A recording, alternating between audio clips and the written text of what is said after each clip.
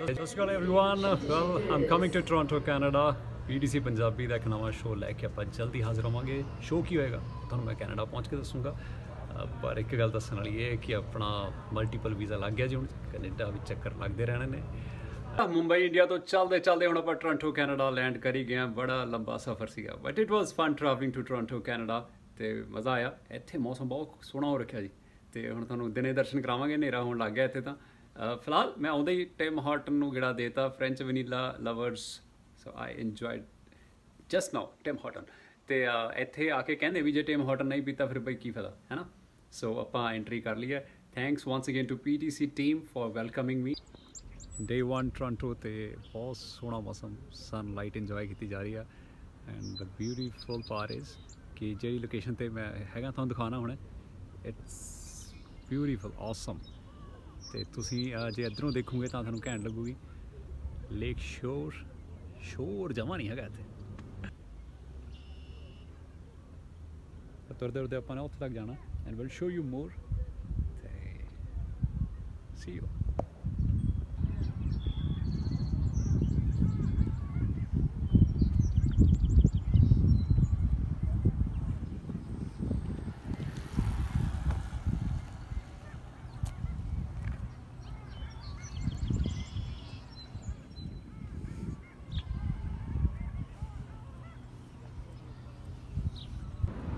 Hello everyone, we are at CNTAR, uh, downtown Toronto and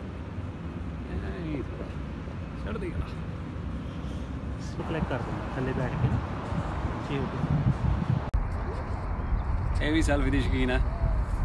O O O O O it's Humber Bay Arch Bridge I guess so it's beautiful ਤੇ ਨਜ਼ਾਰੇ ਆਉਣੇ ਕੁਦਰਤ ਦੀ beauty ਹੋਰ ਨਜ਼ਰ ਆਉਂਦੀ ਹੈ ਇੱਥੇ I really want to show you guys uh, Toronto Canada ਜਿੱਥੇ ਆਪਾਂ ਹੈਗੇ ਆ and look at the view ਪਿੱਛੇ and ਇੱਥੇ ਦਾ ਪੂਰਾ ਹੈਗਾ ਆਪਣਾ ਕੀ ਕਹਿੰਦੇ ਬ੍ਰਿਜ ਹੈ ਇਟਸ ਸੋ ਬਿਊਟੀਫੁਲ ਜੇ ਤੁਸੀਂ ਇੱਧਰ ਆਓ ਟੋਰਾਂਟੋ ਵੱਲ ਤਾਂ ਡੈਫੀਨਿਟਲੀ ਇੱਥੇ ਵਿਜ਼ਿਟ ਕਰਕੇ ਜਾਇਓ you can enjoy it as I am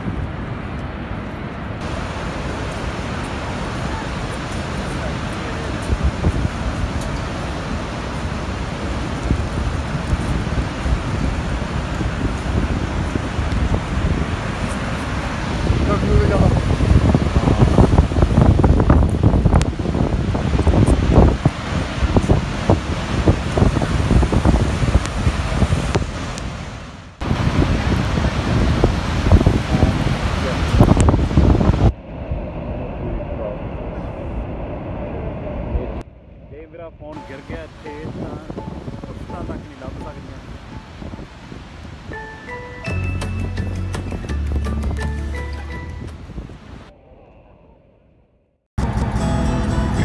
truck पहली बार में बैठा है। इट्स सो ब्यूटीफुल सरदारी कैम है जी, इधर भी।